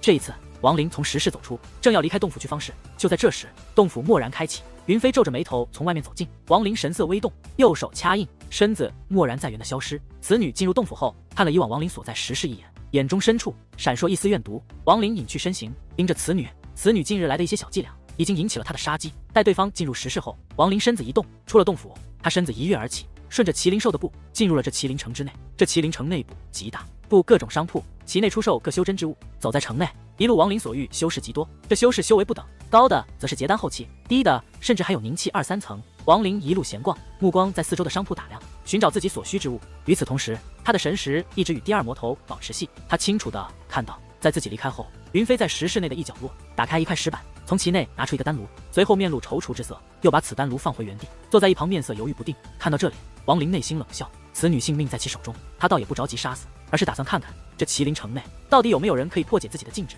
也算是从侧面验一下自己禁制的威力。有着这样的打算，他便一边摇杆女，一边找起材料来。正行走间，王林蓦然目光一凝，落在了一旁的店铺上。此铺高约五层，其上雕龙刻凤，透出丝丝灵气。在此铺之上，有一块巨大的白玉牌，其上龙飞凤舞的刻着三个大炼气阁。望着此阁，王林嘴角露出一丝古怪的微笑。他清楚的记得，当年在南斗城，自己进入炼气阁，以蛟龙皮换取丹炉，并且被窥视，万里追杀，从而引发了整个修魔海外围的一场腥风血雨。那引起事端的丹炉，最后被他送给了李木婉。想到这里。王林脑中不由自主地浮现一个柔柔弱的女子形象，他暗叹一声：李木婉对他有意，这一点王林能看出。但他身负血海深仇，在这残的修真界，实在不能有任何牵挂。否则的话，一旦自己再次惹下大祸，那么此女定然会牵连。经历过一次这样的事情后，王林的心变得冷酷起来。他不允许自己在无力保护亲人前，再度发生诸如此类的事情。另外，时间一晃二百年过去，李木婉是否依然健在，还是两说。脑中李木婉的形象被他强行驱除，王林的目光再次冰冷起来。他抬起脚步，走进了这炼气阁。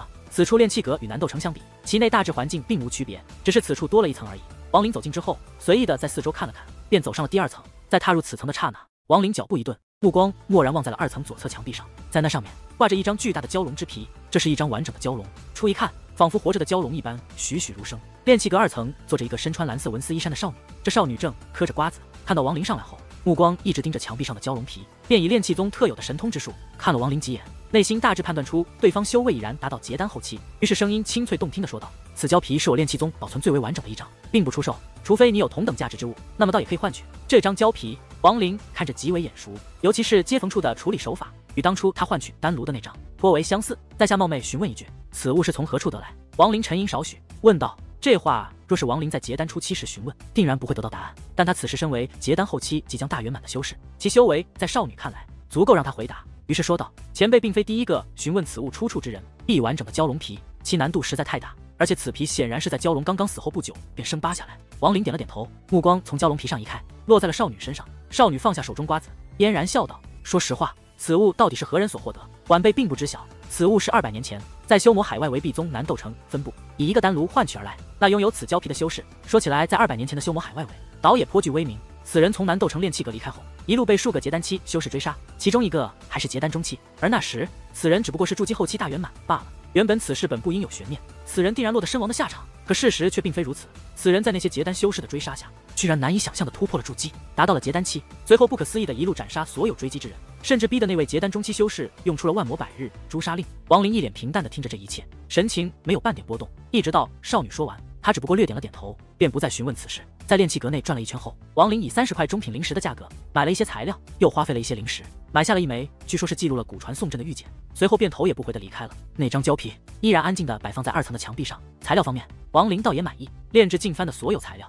他已然全部弄齐。事实上，除了墨尖石之外，其他材料颇为寻常，购买起来也很容易。除了材料之外，对于传送阵的玉简，王林却有些皱眉。即便是炼气阁内，也没有太过深奥的古传送阵方面资料。这玉简内也只不过是记录了一些零散墨汁而已。至于有关极境的预检，此事王林不便直接询问，而是从侧面探查一番，最终没有任何收获。重新回到洞府，云飞仍然还在石室内。王林看了一眼后，便回到自己石室，盘膝坐下，准备制作净幡。他修为比对方高出很多。此番进入洞府，云飞没有半点察觉。他拿出那得自古神第二关的制作净幡的玉简，再次仔细的扫了一遍后，右手一捏，顿时把玉简捏碎。随后他拿出墨尖石，以灵力催化后，把制作净幡的所有材料一一拿出，彼此按照某种分配融合在一起。随后以玉简内要求的方法，催动一口精血之灵气，开始祭炼。这一过程，玉简内有介绍，称之为养气。可以说。净幡的制作与王林熟悉的战神电炼气术有着明显的不同，二者完全不是一个系统，而是独立存在的两个不同的领域。氧气的时间可长可短，根据初始净幡的需求而增加。这净幡若是在其上打入九十九万九千九百九十九个静止，那么就可大成。而实际上，此净幡共分四个品质，这四个品质是以打入其上的静止数量来划分，其中分别是九百九十九。九千九百九十九，九万九千九百九十九，以及最终的九十九万九千九百九十九。王林第一个目标是九百九十九个禁制。当天深夜，王林盘膝在房，双手在身前不断变换，在他前方飘着一杆白色小旗，旗帜上落有八十一个黑斑。王林神态凝重，双手掐着法诀变化少许后，蓦然指向此旗，顿时一连串残影从其双手停顿中晃出，形成一个静止之圈，打在了白旗之内。这静止刚一落在此旗上，便立刻崩溃消散，最后化作一个黑点。出现在旗帜之上。此时，此旗上的黑点一共是十二个，带着黑点数量达到九百九十九个后，最低品质的净幡算是制作成功。在这一过程中，王林极为小心。他这大半夜的时间，准确的说，已经打出了几十个禁制，但并非每个都可以成功印在旗帜上。经过多次尝试后，王林发现，相同的禁制此镜幡最多只能吸收九次，一旦出现第十个相同的禁制，那么之前九个也会随之消散。休息少许后，王林正要变换第十三个禁制时，他蓦然抬头，盯着云飞所在石室，眼中露出一丝寒芒。通过第二魔头，他清楚的看到云飞在房间内打开石块，拿出其内丹炉。这丹炉看起来颇为古老，其上贴着一张散发微弱光芒的黄纸。此女脸上再次露出踌躇之色，但很快她便一咬牙。并未把这丹炉放在储物袋内，而是放在怀中，悄悄地走出房间，在王林所在石室外。他转过头，眼中露出怨毒之色，但很快便被他掩盖过去。此女站在王林石室外，恭敬地唤道：“前辈，您在吗？”说完后，他便一动不动，静静等待。大约一炷香后，此女再次恭敬地说道：“前辈，晚辈有事出去一趟，还望前辈允许。”此女说完，慢慢向后退去。她步伐不快，一直退到洞府之门后，王林所在石室仍然没有半点动静。此女目光微闪，右手在洞府石壁上轻轻一拍，身子向后一送，离开了洞府。在王林闭关的这一个多月内，此女每次外出都会如此做作一番。王林在石室内，嘴角泛起冷笑。待对方离开洞府后，他站起身子跟了出去。此女今夜拿着那丹炉出去，定然有所试探。另外，王林对那丹炉也有一丝好奇。要知道，他在之前刚刚进入这洞府时，神识已然四下仔细的查看一圈，并未发现任何异常。很显然，那丹炉具备一些可以躲避神识探查的法术。同时，对于此女不把此物放在储物袋。王林也有一丝猜测，魔海内没有月色，有的只是皎月透过厚厚的雾气递进来的丝毫月光星点罢了。但对于修士来说，这一丝一毫的光点便足以起到照明视线的作用。云飞出了洞府后，一路速度飞快，直奔城外的山脉城门驰去。在经过城门时，他身影一顿，紧接着从城门内走出一人。此人身穿黑衣，头戴金袍，整个身子几乎都包裹在衣服内。那黑衣人看了云飞一眼，没有说话，而是转身向城外走去。云飞略有犹豫，但很快便银牙一咬，紧紧地跟上去。王林远远地通过第二魔头看到这一切后。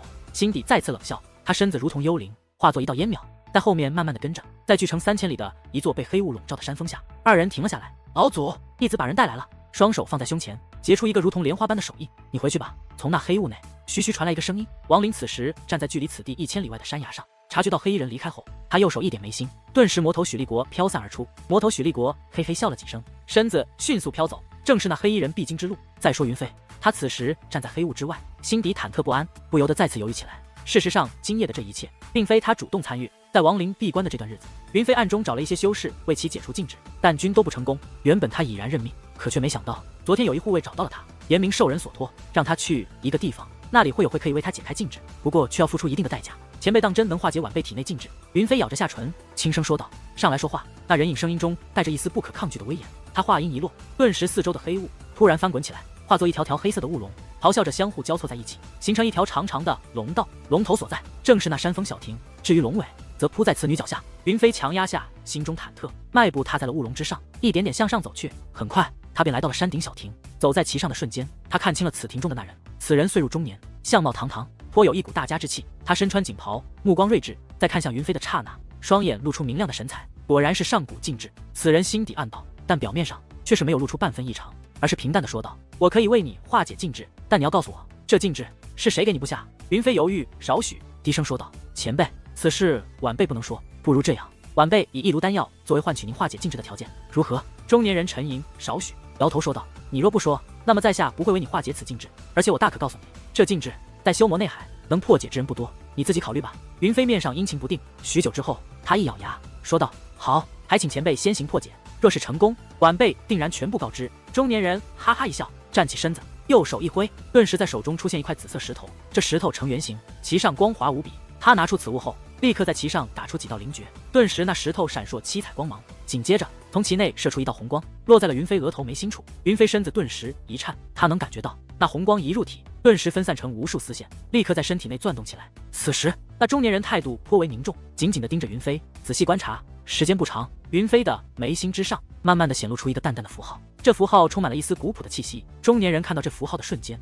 脸上露出狂喜之色，喃喃自语道：“的确是上古禁制，没有想到，居然真有人会这种禁制。”他目光闪动，咬破右手指尖，挤出一滴鲜血，落在了石块之上。顿时，那石块光芒大闪。这一次，从其上射出一黑一白两道光柱，目标直指云飞眉心处的那个符号之上。但就在这时，异变突生，云飞发髻上蓦然间显露出一片阴影。这阴影兽头突然挡在此女眉心，兽口一张，便把那一黑一白两道光柱吞了下去。紧接着，这阴影化作的小兽对着云飞突然一吸，云飞双眼猛地鼓起，瞬间充满了血丝，其神识不由自主的离体而出，被那小兽吸入口中。这一切发生的太快，几乎就是眨眼间，云飞已然香消玉损，落得神识被吞的下场。事实上，在他走上龙道时，其下场就已经注定，只会落得死路一条。若是他能听从亡灵之话，安静的等待其离开修魔海之时，那么也未尝不是还有一丝生机。与此同时，那小兽身体一胀，顿时把云飞尸体包裹。只见一个储物袋，一个丹炉，一颗淡金色的金丹，全部从尸体内飞出，被那小兽卷起，就要向着远处飞去。中年男子初时看到此兽，不由得面色一变，他实在分辨不出此兽到底是什么，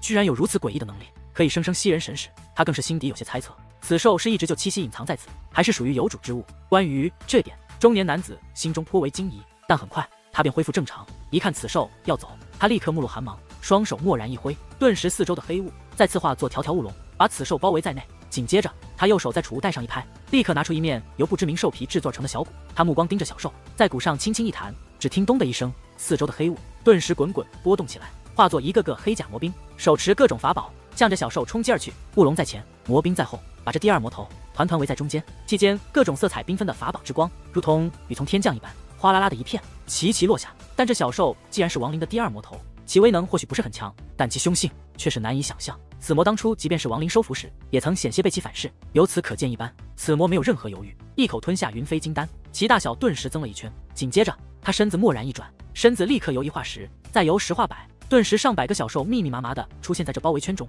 与此同时，百只小兽齐齐发出尖锐的利鸣，一圈圈声波如同怒浪滔天，疯狂的向着四周拍击而去。紧接着，百只小兽一个个迅猛地拍打翅膀，彼此相互交错在一起，形成一股飓风，以庞大的冲击之力，向着一个方位蓦然冲出。声波开道，飓风随后。如此一来，首先受到波及的就是那数条雾龙。这些雾龙在声波的冲击下，顿时一个个身体崩溃。即便是那些魔兵，其冲来的步伐也不由得为之一顿。接下来。是飓风随后，那些本就已经崩溃的雾龙，在飓风的浩浩荡荡的推动下，顿时彻底消散，被卷入漩涡飓风之中。中年男子目露奇光，他盯着那飓风，眼中露出颇为感兴趣的神色。他不疾不徐的右手再次在兽骨上连续弹了数下，咚咚咚咚，一连四声，顿时整片黑雾蓦然间剧烈的翻滚，化作一个个奇形怪状的凶兽在外围出现。这些凶兽一个个恶焰滔天，散发出阵阵嗜血杀戮之气。纷纷盯着那被盗飓风。我不管你主人是谁，但被我邱四平看中的灵兽，没有可以逃出的。我知道你定然可以听懂我的意思。你听好，在这之前，我只是为没有进攻。但三息之后，你若不服从于我，那么我将开启攻击。第二魔头厉笑一声，顿时飓风内他分散而出的所有小兽神识凝聚在一起，形成一道闪电霹雳，瞬间呼啸而出，直指中年男子所在。神识攻击化作的闪电，一路势如破竹，凡是阻拦在他前方的黑雾，顿时一一消散。几乎是眨眼间，神识攻击已然接近中年男子。此人面色一变，身子迅速后退，与此同时咬破舌尖，喷出一口鲜血。神识攻击落在鲜血之上，立刻发出呲呲的声音，不由得顿了一下。与此同时，此人右手迅速从储物袋拿出一块黑色木头，面目狰狞，大喝道：“兽！”瞬间，小兽的神识攻击立刻不由自主地向着黑色木头散去。但就在要碰到此木的刹那，第二魔头的厉笑再次响起，那神识攻击顿时化作百分，如同百川归海一般，迅速撤回。中年男子额头隐隐见汗，刚才的一幕，若是他动作稍微慢上一点，恐怕就要危险了。但他此时的目光却是露出一丝浓重的狂热，他舔了舔嘴唇，沙哑的喝道。居然还会神识攻击，这等奇兽，即便是你有主人，邱某也定要生生抢来。他这话刚一出口，只听一个极为冰冷无情的声音从天边徐徐传来，是吗？这声音传来的瞬间，一阵阵嗡嗡之声蓦然出现。中年男子猛地抬头，只见在天边现出了一道庞大的飓风，这飓风速度飞快，瞬间便冲向黑雾。黑雾外的那些凶兽正要反抗之时，突然飓风中传出一道尖锐的声波，顿时一层气浪从飓风内掀起，推动之下，那些黑雾化作之物纷纷被吹散。与此同时，第二魔头呼啸一声。冲了出来，与那飓风融合在一起。此魔心中显然极为气愤，他操控了飓风后，立刻疯狂的在四周的黑雾中转动，把那些黑雾吹得支离破碎。中年男子看不都看那飓风一眼，目光盯着天边，眼露谨慎之色。只见一个白发男子，身穿黑衣，从天边缓缓走来。此人步伐看似缓慢，但实际却是极快，几乎也就是眨了几下眼的时间，此人便来到了山顶之上。中年男子邱四平双眼瞳孔猛地一收缩，他右手在鼓上一敲，顿时四周被吹散的黑雾立刻急剧的收缩。形成八个黑色的雾球，飘在他的身体四周。邱四平目光闪动，语气平淡的说道：“阁下想必就是那擅长上古禁制之人了。这白发之人正是王林。”他右手一照，顿时从飓风内飞出两个物品，分别是储物袋与丹炉。王林拿到后，并未查看，而是放在了怀里，这才扫了对方一眼。男子的修为，在王林看来，已然达到了结丹后期的大圆满境界，距离元婴只差一丝。但只要不是元婴，王林若要杀之，便极为简单。他目光冰冷阴森的说道：“我就是此兽之主。”你之前不是要生抢吗？来抢吧，我给你机会。王林右手一挥，飓风中第二魔头立刻飞出，飘在对方身前，一动不动。邱四平眉头一皱，他能看出对方的修为与自己相仿，都是结丹后期，可此人态度极为嚣张，在他看来定然有所依持。邱四平生性谨慎，此时目光微闪，看了身前的小兽虚影一眼，随后嘴角露出微笑，摇头说道：“让道友见笑了。邱某之前只是戏言罢了。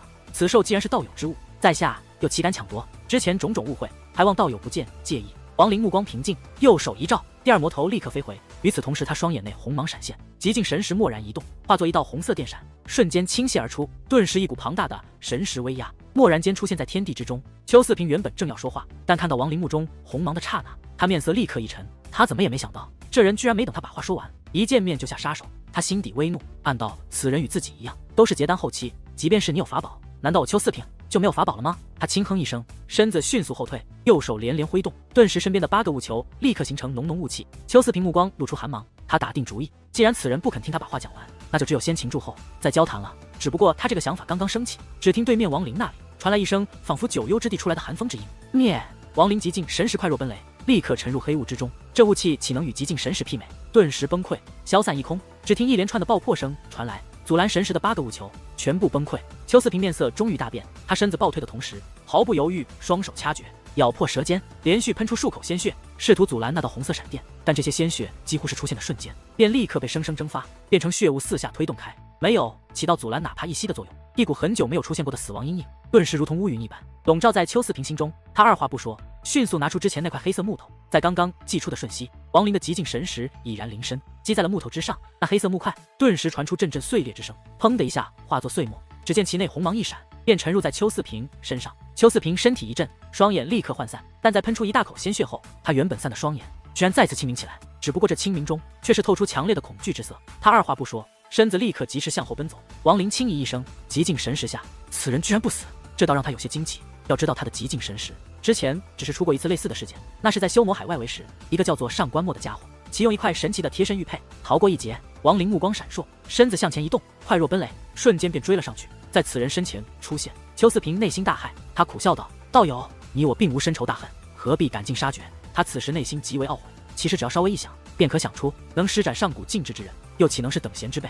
此人修为尽管是结丹后期，但其这手神识攻击，就连自己都无法抵抗。若非自己有奇宝护身，怕是刚才就已然身亡。此人在他眼中看来，即便是没有达到元婴期，但却具备了元婴期的攻击，这叫他如何能抵？如何不跑？不过在他想来，对方定然是有一件强悍的法宝，所以才会具备如此的攻击力。王林神态冷漠，眼中闪现一丝讥讽之色，平淡的说道：“你几次派人唤那莫姓女子出来，目的不正是想要找出那施展上古禁制之人吗？怎么现在见到了，却要跑呢？”邱四平面露苦笑，说道。道友，在下没有恶意，只是他略一犹豫，但立刻就继续说道：“只是有一笔天大的好处，需要道友以上古禁制帮助。”这邱四平本就是个聪明之人，他听到王林的话后，立刻猜出他那黑衣人手下怕是危险了，但他却假装不知，并没有询问半点。王林神色平静，双眼红芒微闪。邱四平暗自咬牙，齐声说道：“道友，你我都是结丹后期，若是听我一言，结因指日可待。”王林眼中红芒渐消，他盯着此人，语气阴沉的说道：“我耐心有限，只给你三句话，若是三句话不能打动我，休怪王某无情。”邱四平内心暗骂，但神态却是不露半分。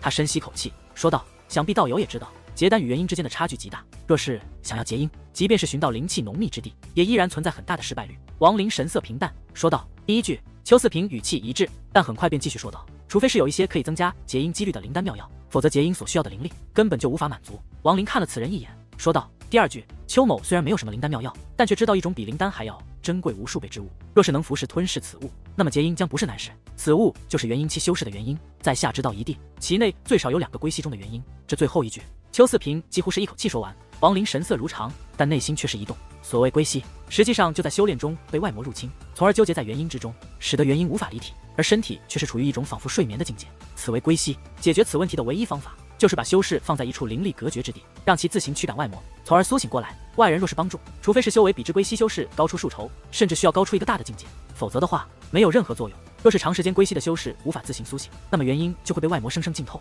则顿时烟消云散，肉身也会随之腐烂。但一般来说，归息中的修士大都可以苏醒，只不过修为会有所降低罢了。但总比性命丢失要强。这归息在修真界并不是很常见，最起码王林到目前为止尚没听说。有处于归西状态中的修士存在。邱四平说完之后，立刻紧紧地盯着王林，想从其表情上看出一丝端倪。可惜王林的神态没有任何变化，至始至终都平静自如。王林沉吟少许，眼中红芒略淡，看了邱四平一眼，缓缓说道：“你是如何知道有归西修士存在的？”邱四平内心松了口气。王林只要问话了，那么就表示之前所说三句之约已然解除。邱四平一点都不怀疑，若是自己刚才这三句话没有打动对方，那么此人定然会毫不犹豫地出手杀死自己。同是结丹后期，但差距却是极大。邱四平内心苦笑，他心中隐有不甘。在他看来，对方定然是身上有什么极为厉害的法宝，否则的话，不可能会具备如此的攻击力，可以让他连反抗之力都欠缺。此时听到王林问话，他连忙说道：“道友，此事说来话长，不如我们坐下，待邱某为你慢慢细说，如何？”王林看了他一眼，略微点头。邱四平立刻向前飞去，他脚下出现一丝丝黑雾，拖着他来到了山峰顶端的亭阁。待邱四平先行后，王林身子向前一送，轻飘飘的落在了山峰小亭之上，袖子一甩，石凳上吹起一股微风，把其上的一些细微灰尘吹散后，他掀起下摆，坐在了上面。他虽是后行，但却与邱四平同时进入此亭。邱四平尽管神态如常，但内心却是一柄，双眼瞳孔收缩一下，但很快就恢复正常。他知道这定然是对方的警告，其目的是让他晓得，即便是耍些手段逃跑，也定然无法甩头追击。事实上，王林的用意也的确如此。他内心对邱四平所说之事颇为留意。实际上，现在只要是一切与结音有关的事情，都可以吸引他的注意力。毕竟，王林目前的修为已然达到了结丹后期，结音是必须要考虑的。近在眼前的大事，一旦他可以结音成功，那么等待他的将是杀回赵国，搅他个天昏地暗，杀他个血流成河，让赵国的天变成血色，让赵国的的变成红浆。让赵国的所有修真者永远也不能忘记那血红的一日，让赵国他所有的仇人以其鲜血祭拜王室祖先。他要让滕家全族，上至老人，下至子孙，甚至凡是与其相关之人，全部鸡犬不留。他要让即墨老人死无葬身之地，让其全部弟子纷纷惨嚎数月而亡。他要让那所有暗中帮助滕家之人全部得到惩罚，全部都要为此事付出让他们无法承受的代价。更重要的，他要把滕化元抽魂、扒皮、剔骨、融筋、削肉。总之，用一切他能想到的方法来偿还这四百多年的苦与恨。邱四平右手一翻，手中多了一个酒壶与杯子，亲自倒了两杯后，拿起杯子抿了一口，笑道：“道友，这是修魔北海以残云果酿造的美酒，喝上一口，回味无穷。道友不妨品尝一下。”王林并未催促对方回答问题，而是看了那酒杯一眼，随后拿起仔细的观察，好像其内有着什么颇为有趣之妙物一般。这酒杯内的美酒呈碧绿色，看起来倒也晶莹剔透，煞是美丽。邱四平抿了许久，却发现王林好像对此事没有什么兴趣一般，于是苦笑。放下杯子，缓缓说道：“道友，此话若是别人来问，邱某定然不会诉说。但道友却是不同，你我都是结丹后期，怕是此生最大的梦想，就是可以结阴，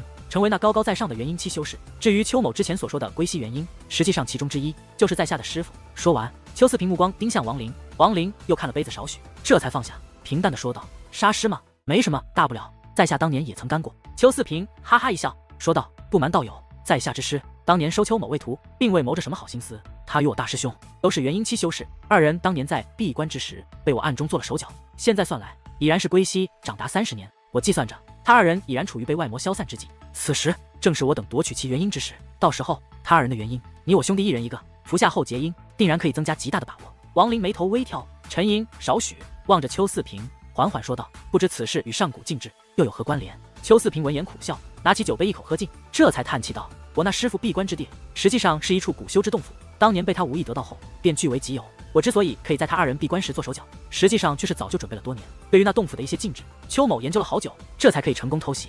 可是那洞府关闭之后，在下若是开启，却是极为麻烦，其内禁制太多。邱某没有想到，仅仅是触发了一个招引外魔的禁制，便引起一系列连锁反应，结果弄到最后一无所得，颇为得不偿失。王林眉头微皱，沉吟起来。邱四平右手在储物袋上一拍。顿时手中出现了几枚玉简，他把这些玉简放在桌上，说道：“这里面是我从那里拓印的一些上古禁制的符号，道友可以看看。以道友的禁制之术，定然可以分析出其内真假。”王林闻言，拿起其中一块玉简，神识一扫，片刻，他又拿起另外一块。许久之后，全部玉简都被他一一看过。这些玉简内记录了一些上古禁制，通过这些禁制来看，属于一种防守类的禁制，应该是为了守护洞府而布置。道友，你看如何？邱四平在一旁问道。王林沉吟片刻，抬头看向邱四平。说道：“那两个元婴修士分别是什么境界？”邱四平立刻回答：“家师是元婴初期，至于邱某的大师兄，他只不过是刚刚结婴罢了。若是道友能打开禁制，那么家师的元婴归你所有。”王林沉默少许，沉声道：“此事在下无法立刻决定，待我考虑几日再与你联系。”邱四平也不介意，点头说道：“本应如此，邱某也需要几日来准备一些法宝。道友，你我如今可谓是化敌为友，之前种种误会，邱某在此向道友深深的道歉。”说着，此人站起身子。退后几步，对着王林弯腰鞠了一躬。王林神色如常，但内心却是一直谨慎。此人此番做作，在他看来，倒也颇为拿得起放得下。不过以王林的心机，岂能被对方这些表面现象所迷惑？他微微一笑，算是因果。起身一抱拳，说道：“道友，既是如此，那就定在七日后此时此地，在下告知答复。”邱四平笑容可掬，点了点头，同样抱拳。王林身子顿时一跃，化作一道长虹，消失在天边。待王林走后，邱四平的笑容顿时消失，目中闪过一丝寒芒，闪烁了几下后。他身子蓦然一动，向着与王林相反的方向驰骋而去。只不过他丝毫没有注意到，在此山亭阁之旁有一个完全透明之物，把他刚才的表情看得清清楚楚，并且在他离开之时，此物悄然无息的紧跟其后。时间不长，王林便回到了。此魔现在比之以往，绝对是听话了数倍不止。他现在紧跟邱四平，不管对方速度多快，他都能轻松的追击而上。一边追着，他心底一边回味刚才那个黑衣人的美味。那黑衣人是个结丹中期的修士，费了他一些手脚，这才把其吞噬。那金丹，既然主人没问，于是便被他暗自觅下，偷偷吃了。他盯着前方的邱四平，内心不由自主的升起一丝贪意。他心中暗道：若是主人能让把这个结丹后期的修士打得半死，然后赐给自己，那就好了。在他看来，此人颇为狡猾，几乎是不走直路，总是绕来绕去，甚至时而还停下，紧盯后方。如此一来，来倒也不难。看着对方这般行走，慢慢的，许立国居然心有所悟。他暗道：原来飞行也可以有这么多花样，老子算是学会了。以后和老二比试时，老子也这么用一用。就在这时，突然前方的邱四平身子一顿，速度立刻缓了下来。他落在地上，四下看了看，此处四周是一片荒原，除了修魔海本身具备的雾气之外，别无他物。他落地后，立刻冷笑起来，喝道：“道友，隐匿了这么久，还是出来吧。”魔头许立国顿时一怔，他此时就站在邱四平身后。对方这一声大喝，吓了他一跳，暗道不好。被对方发现了，他立刻就要后退，但紧接着便停了下来，因为此时邱四平已然转身，目光紧紧地向他盯来。许立国脸露凶色，暗道：老子和你拼了！若是能吞下你的金丹，老子定然会更强一些。而且，即便是主人问起，老子也有话说，是他逼的，老子不吞不行啊！是他先出手的。他正要有所行动，蓦然间再次一顿。此时那邱四平居然转过身去，看向别处，口中依然喝道：道友再不现身，邱某可要出手了。魔头许立国心底大为疑惑，暗道：老子就在这呀！你刚才不是看到了吗？怎么还说我不现身呢？他心底一气，身子一送，再次飘到邱四平身前，距离对方只有不到一丈的距离。许立国内心暗道：出手吧，只要你出手，老子就把你吞了。即便是吞不了全部，老子也要吞一半。你快出手吧！可是邱四平等了一会后，居然再次转身。这一次反应迟钝的许立国终于发现了不对劲，他身子再次飘到对方面前，看了少许后，内心立刻破口大骂，心说：你这个杀千刀的，根本就没发现老子，居然耍诈！邱四平等了少许后，终于确定四周没人，而且应该也没人跟在身后，但他仍然不放心，盘膝坐的，静等时间过去。许立国气呼呼的在一旁飘着，嗯狠狠地盯着邱四平，内心挣扎起来，暗道自己到底要不要不顾主人责备，上去与此人拼了？此人太过可恶，居然敢戏耍他伟大的许立国，这让他几乎不能容忍。但考虑了许久之后，他终于强压下这口气，暗道现在关键时刻，若是自己犯了错误，定然会被老二超过，还是等等吧，等以后自己的位巩固了，绝对不受这等鸟气。时间一晃。便过去两天，王林在这两天内没有离开洞府半步，他一直在不断的祭炼镜幡，在其上印下无数禁制。此时他身前飘着的那杆旗帜，其白色的旗面上已经密密麻麻有了无数的黑点，